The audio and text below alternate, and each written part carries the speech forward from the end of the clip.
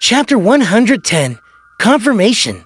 After thinking for a while, Klein decided to return home to confirm something.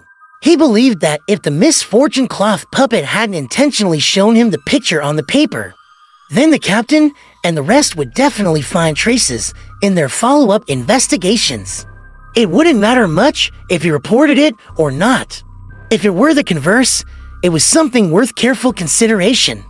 That was also what Klein wanted to confirm. He took the trackless public carriage to Daffodil Street.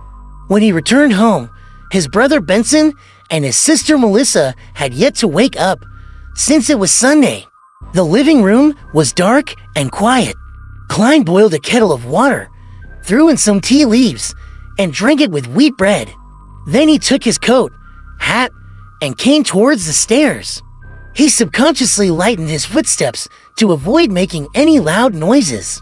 Just as he got to the second floor, he saw the bathroom door suddenly open, and Melissa, who was wearing an old dress, came out with a sleepy face.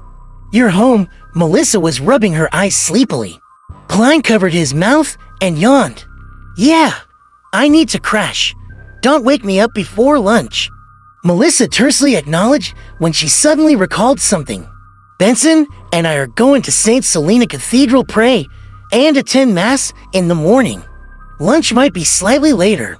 As not so devoted believers of the Evernight Goddess, she and Benson went to the church once a fortnight, while Klein, who was a night hawk, hadn't entered the church since the last time he was followed by the member of the secret order.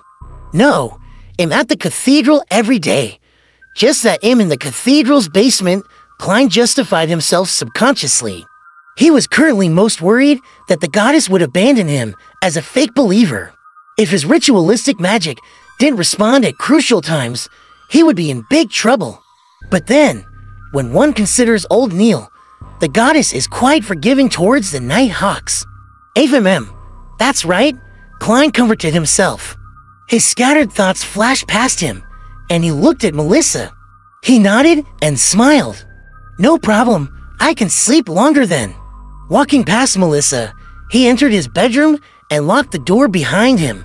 Immediately following that, he psyched himself up and took out the ritual dagger and created a sealed spirituality wall.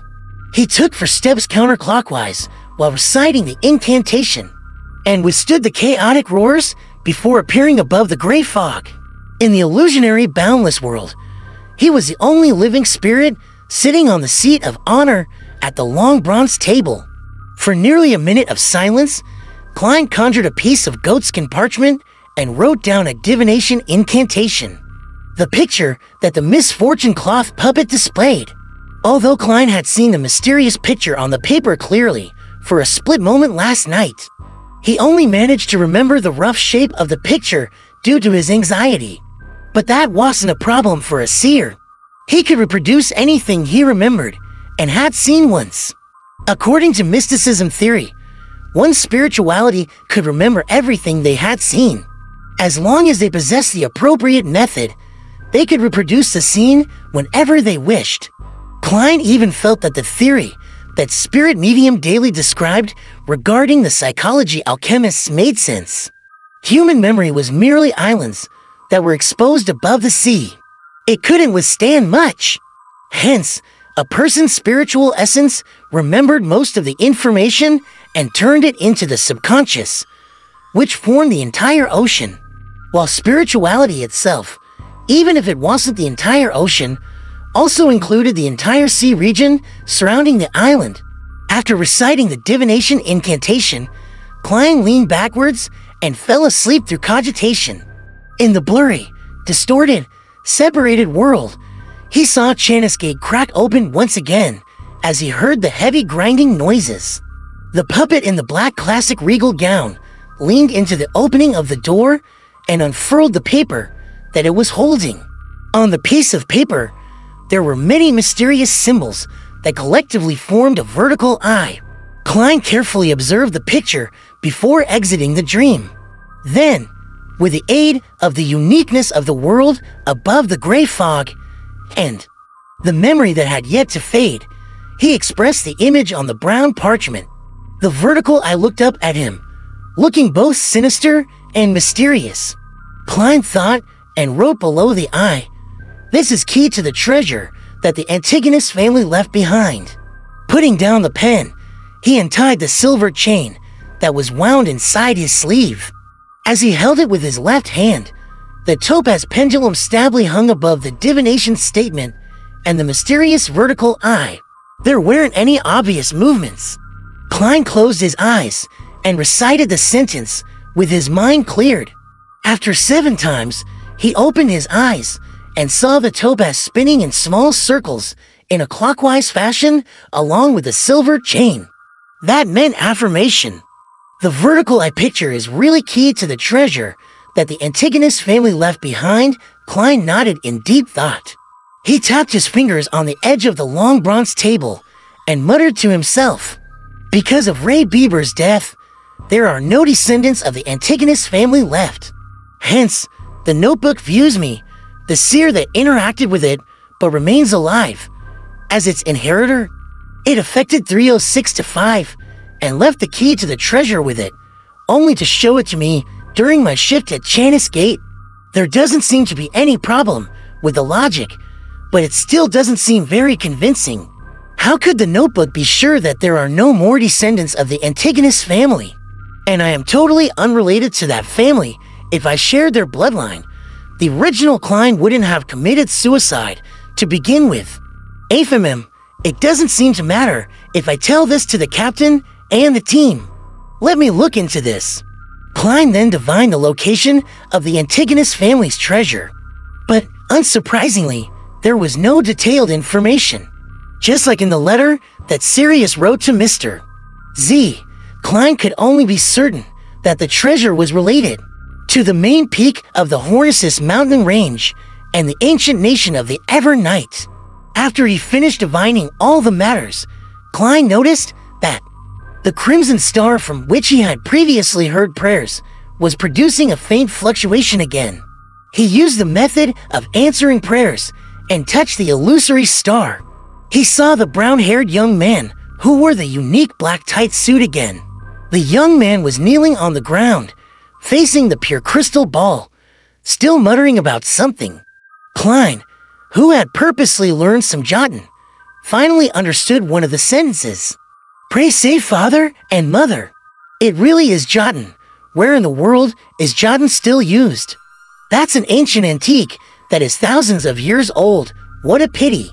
The mysterious ruler above the giant is totally powerless. I don't have the ability to save them even if I want to. Klein shook his head and sighed. He decided to observe him for a little longer. He'll see what I can do when I master more Jotun vocabulary and can understand what happened to his father and mother, Klein. Retracted his spirituality, wrapped it around himself, and initiated a descent. When he returned to his bedroom, he dispelled the spirituality wall, changed into old but comfortable clothing, and laid down on the bed to get some sleep. Klein slept all the way till half past 12, which was when Melissa finished preparing lunch and came knocking on the door. After having a fairly sumptuous meal, he saw Melissa bring out her new dress and fishnet hat, looking like she was going out. Do you still have something this afternoon? Klein asked, puzzled. Benson was seated on the sofa, knitting his eyebrows at his grammar books. He didn't lift his head, but answered on her behalf, Mrs. Shad from next door told Melissa that there will be a lecture regarding family affairs in the municipal hall in the afternoon. Melissa plans to attend it and learn how to deal with daily household issues. Melissa nodded and said, I got Selena and Elizabeth to join me. That's nice. I hope that the lecturer tells you that a family like us needs to hire at least one maidservant, Klein joked. Noticing that Melissa was about to refute him, he immediately added, We have to invest our limited time into more valuable matters. Melissa was stunned. After a while, she puckered her lips, put on her fishnet hat, and left the house. At 2 in the afternoon, Klein arrived at the Blackthorn Security Company again. Rozanne and Dunn Smith who happened to be in the reception hall, asked in unison, Didn't you go home and rest? Klein smiled. I was going to go to the divination club, but I kept thinking about what happened last night, so I decided to come over here first. Has there been any reply from the Holy Cathedral? Dunn shot a glance at Rozanne and turned around silently. He walked past the partition and entered his office. Rozanne pulled her face at his back, then muttered angrily, Seriously, Captain. Well done, Klein complimented silently. He held back his laughter and followed Dunn into his office. Klein shut the door, and Dunn sniffed his smoking pipe before he said, The Holy Cathedral has determined that the disturbance was because of the Antigonus family notebook, which they reclassified as a grade 1 sealed artifact. It's a pity. That means that you no longer have the sufficient security clearance to read it. Grade 1, highly dangerous. Only the ranks above bishops and Nighthawk team captains can know of the actual situation. That also means that Captain has no idea what's happening highly dangerous. No wonder Klein felt regretful, yet relaxed. Dunn gave him a glance and continued, The Holy Cathedral told us to check.